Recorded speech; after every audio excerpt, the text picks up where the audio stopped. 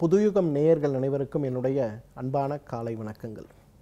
இனியவை இன்று அப்படிங்கிற இந்த நிகழ்ச்சியில் மீண்டும் உங்கள் அனைவரையும் சந்திப்பதில் எனக்கு ஒரு மிகப்பெரிய மகிழ்ச்சி. நேற்று நம்ம தலைப்பை பற்றி பேசிக்கொண்டிருந்தோம் கோவிட் பெருந்தொற்று நோய் பரவல் நோய் எதிர்ப்பு சக்தி சம்பந்தப்பட்ட விஷயங்களில் பார்த்துருந்தோம். நாம் அனைவருமே நம்மால் முடிந்த அளவுக்கு நம்முடைய நோய் எதிர்ப்பு சக்தியை அதிகப்படுத்துவதற்கான இயற்கை வழிகள் என்னங்கிறத பார்த்துருந்தோம். கடைசியாக நன்றாக நீர் அருந்துவது தூக்கம் நன்றாக வைத்துக்கொள்வது ஓய்வு எடுத்துக்கொள்வதை பற்றி பார்த்தோம். இது எல்லாவற்றையும் விட முக்கியமானது இன்றைக்கு என்னன்னு பார்த்தீங்கன்னா இன்றைக்கி சமூக இடைவெளி அப்படிங்கிற ஒரு விஷயம் மிகப்பெரிய அளவில் தேவை. இன்றைக்கு இரண்டாம் அலை சற்றேற முடிந்து விட்டது அப்படிங்கிற ஒரு சூழல் இருக்கிறதுனால இன்றைக்கு அரசு மிகப்பெரிய அளவில் அந்த தளர்வுகளை அறிவித்திருக்கிறார்கள். துரதிர்ஷ்டவசமாக இந்த தொற்று முற்றிலுமாக குணமாகிவிட்டது அப்படிங்கிற ஒரு பெரிய தவறான எண்ணத்தில் இன்றைக்கு நான் நிறைய பார்க்குறேன். அந்த சமூக இடைவெளி அப்படிங்கிறது கிட்டத்தட்ட இல்லாமலே போய்விட்டதை பார்க்குறேன். இன்றைக்கு மூன்றாம் அலைக்கு இது ஒரு மிகப்பெரிய காரணமாக அமைந்து விடக்கூடும் அதனால் நாம் அனைவருமே சமூக இடைவெளியை முறையாக நிச்சயமாக பின்பற்றத்தான் வேண்டும். அதைவிட முக்கியமானது இன்றைக்கு முக கவசம் அணிவது. இன்றைக்கு இன்னும் நிறைய பேர் பார்க்குறேன். இன்றைக்கு நிறைய பப்ளிக் டிரான்ஸ்போர்ட்டுன்னு சொல்லக்கூடிய பேருந்துகளில் செல்லும் போதும் இன்றைக்கு சாலையில் நடக்கும்போது கூட நண்பர்கள் ஒரே குடும்பத்தைச் சேர்ந்தவர்கள் திருமண விழாக்கள் கூட இன்றைக்கு நடக்கும்போது பார்க்கும்போது முக கவசமற்று அனைவரும் அமர்ந்திருப்பதை பார்க்குறோம். இந்த முகக்கவசம் அற்று நாம் இருப்பது நமக்கு தொற்று இருக்கிறதா இல்லையாங்கிற ஒரு புரிதல் இல்லாத சூழலில் நாம் இருக்கும்போது நம்மிடமிருந்து மற்றவர்களுக்கு பரவுவதற்கு ஒரு காரணமாக அமைகிறது. அதேபோல் மற்றவர்களுக்கும் அதே நிலைதான். நம் கூட இருப்பவர்கள் நம் கூட வேலை பார்ப்பவர்கள் நாம் செல்லக்கூடிய இடங்களில் நாம் வாங்கக்கூடிய பொருட்களை நமக்கு கொடுப்பவர்களுக்கு கூட சில நேரங்களில் தொற்று இருக்கலாம் அவர்களுக்கே அது தெரியாமல் இருக்கலாம். அது நேரடியாக நம்மை தாக்கக்கூடிய ஒரு வாய்ப்பு ஏற்படலாம். அதனால் முகக்கவசம் அணிவது மிக மிக அவசியம். அதில் எந்த மாறுபாடும் கிடையாது. மூன்றாம் அலை குழந்தைகளை அதிகமாக பாதிக்கும் அப்படிங்கிற ஒரு கருத்து உலகம் முழுவதும் பரவி இருக்கிறத நம்ம பார்க்குறோம். நிறைய பெற்றோர்கள் மிகுந்த அச்சத்தில் இருப்பதையும் நம்ம பார்க்குறோம். இன்றைக்கு இரண்டாம் அலை ஏற்படும் போது கூட குழந்தைகள் மேல் அதிகமான பாதிப்பு ஏற்பட்டதாக பெரிய புள்ளி விவரங்கள் இன்றைக்கு இல்லை. ஆனால் கடந்த வாரத்தில் நாம் பார்க்கும்போது நம்முடைய நாட்டிலேயே ஒரு மாநிலத்தில் ஒரே நாளில் எட்டுநூற்றி எழுபத்தி ஒரு குழந்தைகள் இன்றைக்கு கோவிட் நோயினால் பாதிக்கப்பட்டிருக்காங்கன்ற ஒரு அதிர்ச்சிகரமான தகவல் வந்தது. ஸோ இப்போ நான் வேலைக்கு போயிட்டு வரேன். அல்லது என்னுடைய வீட்டில் இருப்பவர்கள் வெளியில் நம்ம போய் கடைக்கு மார்க்கெட்டுக்கு எங்கேயோ போயிட்டு வரும்போது உடனே குழந்தைகளை சந்திக்காமல் அவர்களை கொஞ்சம் தனியாக வச்சு நம்ம வீட்டுக்குள்ளே போன உடனேயே நாம் எடுத்து வருகின்ற பொருட்களை முறையாக சுத்தப்படுத்தி நம்மை நாமே முறையாக சுத்தப்படுத்தி கொள்வதற்கு முயற்சி கொடுக்க வேண்டும். வீட்டில் சிறு குழந்தைகள் இருக்கும்போது இந்த முத்தம் கொடுப்பது அப்படிங்கிறது நம்ம எல்லோருக்குமே பிடித்த விஷயம்தான்.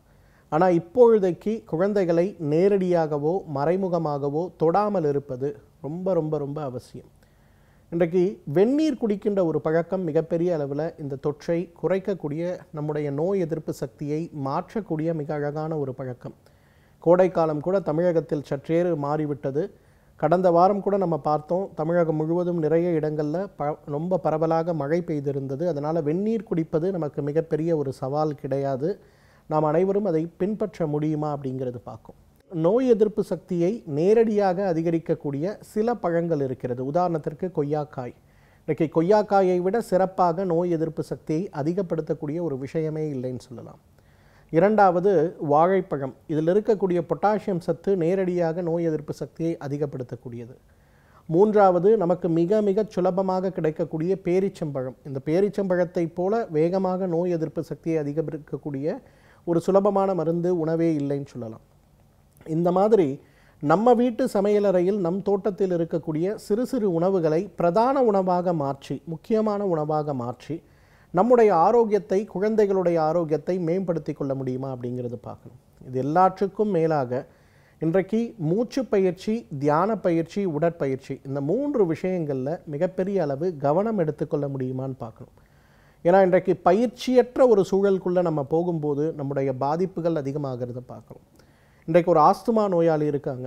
ஒரு கோவிட் நோய் தாக்கம் ஏற்பட்டு அவங்க உடம்புல பிராணவாயு குறையும் போது என்ன மாற்றங்களை நாம் சந்திக்கிறோமோ அந்த மாற்றங்களை ஒரு ஆஸ்துமா நோயாளி தினசரி சந்திக்கிறத நம்ம பார்க்குறோம்.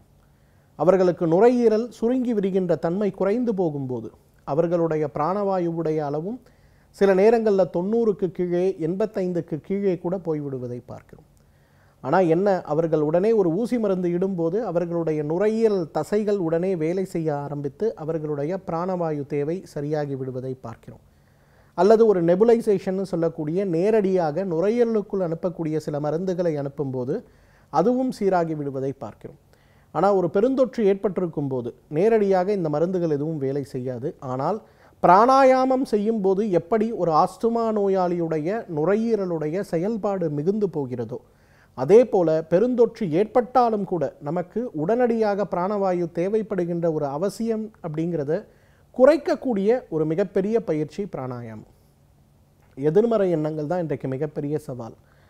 இன்றைக்கு குறைந்தது ஒரு நாளைக்கு இருபது பேரை நான் சந்திக்கிறேன் அப்படின்னா அதில் மூன்று பேராவது மிகப்பெரிய அளவில் மனக்குழப்பத்தில் இருக்கிறத நான் பார்க்குறேன் மன பதட்டத்தில் இருக்கிறதையும் நான் பார்க்குறேன். என்ன காரணம்? ஐயோ எனக்கு கோவிட் வந்து போச்சு. திரும்ப கோவிட் வந்துருமா? கோவிட் வந்து போச்சு. எனக்கு ஹார்ட் அட்டாக் வந்துருமா? கோவிட் வந்து போச்சு. எனக்கு சிறுநீரகம் வேலை செய்யாமல் போயிடுச்சா நைட்டு பதினோரு மணிக்கு திடீர்னு படபடப்பு அதிகமாகுது வேர்வை கொட்டுது நிறைய குழப்பத்தோடு மனிதர்கள் வருவதை பார்க்கிறோம். இந்த குழப்பத்தை மாற்றுவதற்கு மருந்து மாத்திரைகளை விட தியானம் மிகச்சிறந்த மருந்து ஹீலிங் மெடிடேஷன் சொல்லக்கூடிய உடலுறையும் மாற்றி உள்ளத்தையும் மாற்றக்கூடிய அழகான தியான பயிற்சிகள் இன்றைக்கு மிகப்பெரிய அளவில் நாம் நிச்சயமாக முயற்சி செய்ய வேண்டும். ஏன்னா இன்றைக்கு மிகப்பெரிய அளவில் உடலுடைய ஆரோக்கியத்தை நாம் பேணி காக்க வேண்டுமாயான் நமக்கு மனதை கொண்டு தான் அது சாத்தியம். இன்றைக்கு நாம் எல்லாருமே குடும்பத்தில் இருக்கக்கூடிய குழந்தைகள் முதல் பெரியவர் வரை காலை ஒரு இருபது நிமிடம் மாலை ஒரு இருபது நிமிடம் முடிந்தால் இரவு தூங்குவதற்கு முன்பு ஒரு இருபது நிமிடம்னு தியானத்திற்கு செலவு செய்து தான் ஆக வேண்டும்.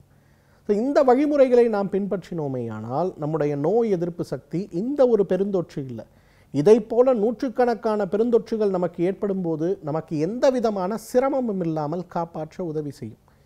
இது எல்லாம் நான் செய்கிறேன் சார் பட் எனக்கு வந்து ஏதாவது மருந்து கொடுங்க. இதுதான் நிறைய பேர் என்னிடத்தில் சொல்லக்கூடியது.